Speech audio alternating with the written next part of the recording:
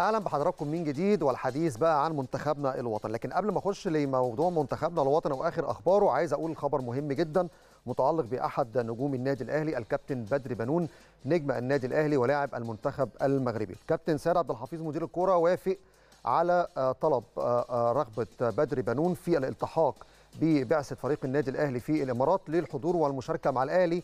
مش مشاركة طبعا في المباريات نتيجة طبعا ابتعاده بسبب مضاعفات كورونا ولكن على الأقل وجوده كناحية معنوية مع فريق النادي الأهلي في كأس العالم للأندية اللي هتنطلق غدا بإذن الله كابتن بدر بنون حرص على استئذان كابتن سيد مدير الكرة في هذا الأمر للالتحاق بمعسكر الفريق ويوم ال...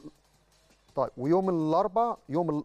يوم الاربع بإذن الله بدر بنون هيصل اليوم النهارده إلى مقر إقامة فريق النادي الأهلي. قدامكم على الشاشة دي لقطات حيه وبث مباشر من مقر إقامة بعثة فريق النادي الأهلي في أبو ظبي بعد المحاضرة الفنية والتحرك مباشرة إلى ملعب التدريب. كلنا عارفين خلاص النادي الأهلي يمكن دخل بقى في مرحلة الاستعداد للمباريات.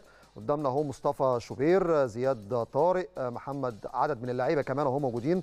وطبعا الإجراءات الاحترازية ده شيء يعني مسلم بيه دايما في كل رحلات النادي الأهلي ومشاركات النادي الأهلي في مبارياته سواء الدولية أو القارية. كمان قدامنا أهو لويس ميكيسوني والنقطة كمان الواضحة لكل الناس اللي بيتابعوا هذه اللقطات. محمد هاني كريم فؤاد الكل لابس الماسك. الكل بيطبق الإجراءات الاحترازية زي ما أنتم شايفين. يعني البعثة كلها سافرت من هنا الحمد لله كانت سلبي كورونا. أول ما وصلت المطار المهندس خالد مرتجي أمين صندوق النادي الأهلي ورئيس البعثة المسحة في المطار ثبتت إن في إيجابية العينة. فدخل حجر صحي قعد فيه 24 ساعة واتعملت مسحة ثانية وخرج.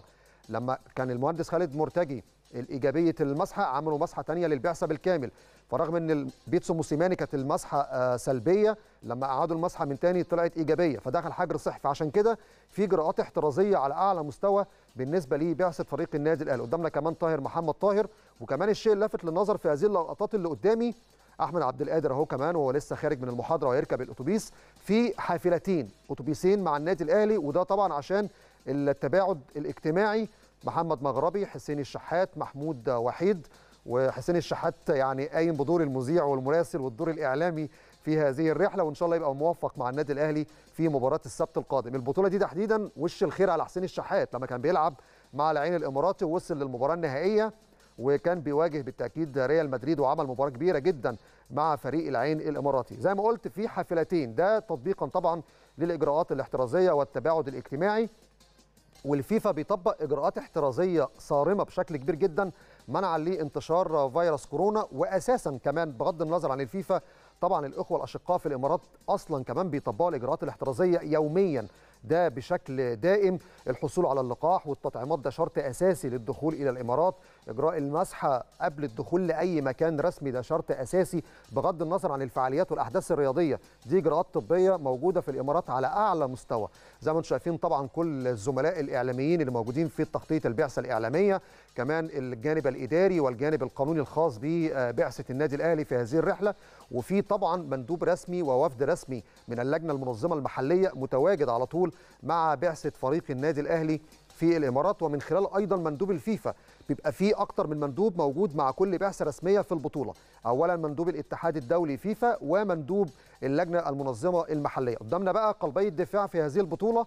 يعني ما عندناش غيرهم ياسر إبراهيم ورامي ربيعة وهيكون بديل ليهم محمد مغربي. الحاوي وليد سليمان أليو ديانج نجم خط وسط منتخب مالي التحق بالبعثة. وموجود مع النادي الأهلي في الإمارات. كمان هنشوف بعد شوية برضو كمان أكيد علي معلول بعد انتهاء المحاضرة وقبل ركوب الأتوبيس والاستعداد للمغادرة. قدامنا هو كريم فؤاد ده طبعا أحد لاعبي النادي الأهلي اللي ممكن يؤدي في أكتر من مركز في هذه المباريات. يعني إن شاء الله بإذن الله يقدر الأهلي يعمل نتائج كويسة في هذه البطولة. آه كلنا عارفين الظروف وعارفين النتائج أو الغيابات قدامنا كمان محمد مجدي قفشة نجم خط وسط فريق النادي الأهلي.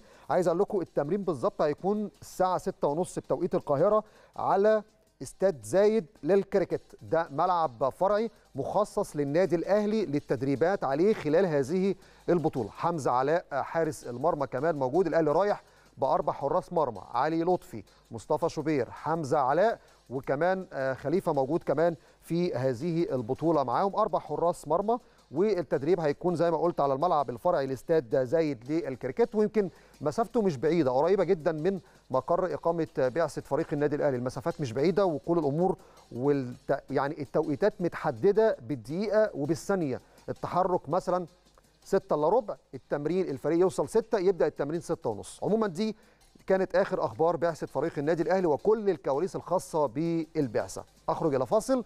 ونرجع مع بعض نبدأ نتكلم بقى بسرعة عن المنتخب ونشوف مشاركات الجماهير في آخر فقرة من برنامج الترند.